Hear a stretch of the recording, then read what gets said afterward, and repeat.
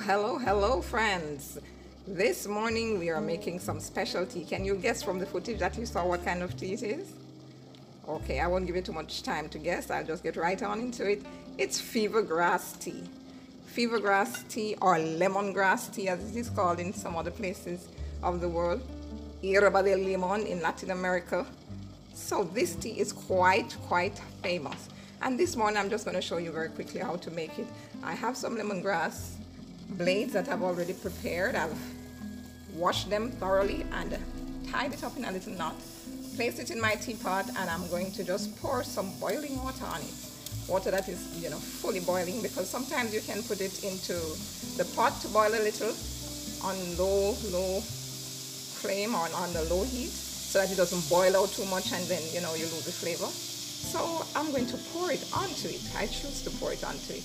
As I mentioned just now, you can just boil it in the pot for a little bit. Now I'm going to just add the water to it. There you see the water fully boiling. I'm going to just turn off the stove now and pour it onto my tea.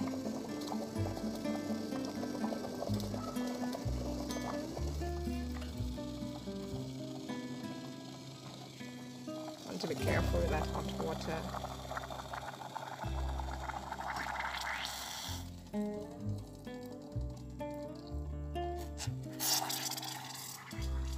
Great, wow, and the moment the hot water hits it, you can just smell that lovely aroma, wow. Mmm, you should be here in my kitchen to smell this. Wow, now what I'm gonna do is cover it very quickly so that it can just steep for about 10 minutes while I get some other stuff sorted out and then I'll be back with you very shortly. Well, now here we are and this should be ready to go. Wow, smell that fever grass. This smell is so very strong, you know. It's very, very strong. Yes, it's ready now. It's ready. It's ready for pouring and making my tea. Now, you know, in Jamaica and I guess across the world too, fever grass has been said to have many benefits. But in Jamaica, you know, as you have a little fever, they say, oh, drink some fever grass. And in Jamaica also, we like to have tea for every little thing. As you have a little headache, a little stomach discomfort, tea. Your grandma will say, you need some tea. Maybe it's gas. But in this case, I don't have any of those complaints. We're just going to go right ahead and have it just for pleasure, just for the sake of having some tea. I'm going to strain this off right now because just in case there's any little thing that came off on the leaves. They were thoroughly washed, but I still want to just strain it off so that I ensure I capture any little thing that might have been caught on the leaf. That's it, it's ready now. Look at that light green color, you see that? That's how your lemongrass should look, not brown. If it's brown, it's overboiled, right? And this tea, you can have it with sugar if you want, or honey, or you can have it just as it is.